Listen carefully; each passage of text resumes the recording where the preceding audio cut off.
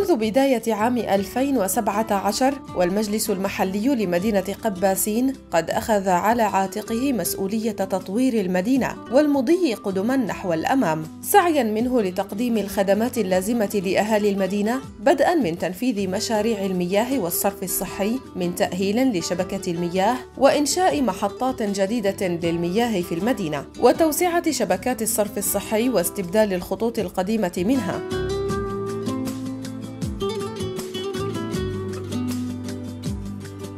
كما عمل المجلس المحلي على تجديد الطرقات العامة والفرعية ومن آخر مشاريعه في هذا المجال تزفيت طريق المحلق الغربي.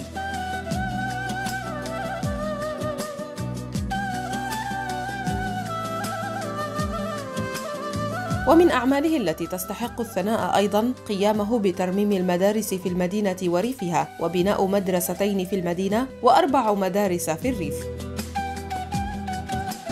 لا يزال المجلس المحلي في مدينة قباسين يعمل على تقديم العديد من الخدمات لأهالي مدينة قباسين منذ مطلع العام 2017 حيث قمنا بتأهيل شبكة المياه ضمن مدينة قباسين وإنشاء محطات آه، مياه في مدينة قباسين. كما قمنا بتنفيذ العديد من مشاريع المياه والصرف الصحي آه، مشاريع الصرف الصحي وشبكات الصرف الصحية كتوسعة واستبدال للخطوط القديمة.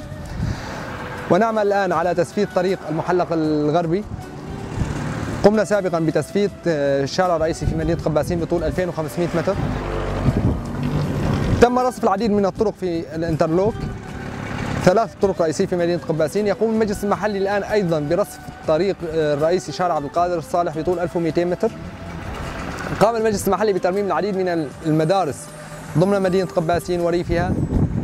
وبناء آه، مدرستين في مدينة قباسين وحوالي أربع مدارس آه، في ريف مدينة قباسين. قام المجلس المحلي بتجهيز حديقة المدخل في مدينة قباسين بمساحة 2500 متر بالأشجار والألعاب والسور والمواد التجميلية الأخرى. والآن يقوم على تجهيز الحديقة المركزية ضمن مدينة قباسين بحوالي مساحة 8000 متر مربع بالأرصفة والممرات والإنارة وتشجيرها وتقديم الألعاب فيها. ولا يزال هناك احتياج كبير ضمن مدينة قباسين في جميع القطاعات. المياه والصرف الصحي آه، من أهم القطاعات التي يعمل على المجلس المحلي على تأمين أعمال إضافية لها بحيث يستكمل آه، مشاريعها ضمن مدينة قباسين وقرى مدينة قباسين. أما بالنسبة إلى الطرق فالاحتياج أكبر بكثير. فجميع آه، قرى قباسين تحتاج إلى إعادة تأهيل طرقها وكذلك ضمن مدينة قباسين. فالمجلس المحلي في مدينة قباسين لا يزال يعمل على تأمين آه، احتياجاته في استكمال رصف الطرق وتسفيتها. ومن أعماله التي لا نستطيع تجاهلها أو نسيانها هو افتتاح فرن قباسين حيث تم الافتتاح بحضور وزير المالية والاقتصاد في الحكومة السورية المؤقتة ورئيس المجلس المحلي وعدد من أعضاء ومدراء المجلس المحلي.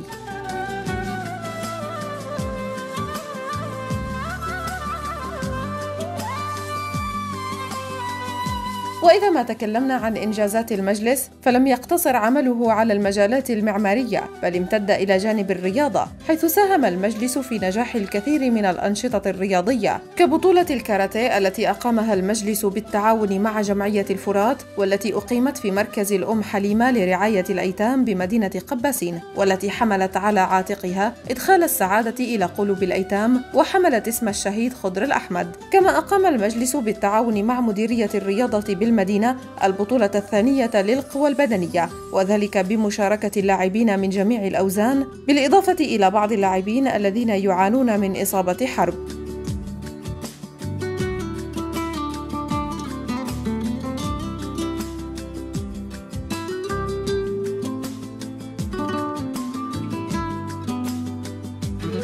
بالرغم من كل هذه الجهود المبذولة إلا أن الطريق طويل وشاق. فما زالت الكثير من الطرقات الواصلة بين المدينة والقرى المجاورة بحاجة إلى ترميم ورصف وتطوير ولكن مشوار الألف ميل يبدأ بخطوة وها هو المجلس يبذل قصارى جهده لإبداء المدينة بأبهى حلة كاميرا الفرات تأخذكم في هذا التقرير بجولة داخل مدينة قباسين.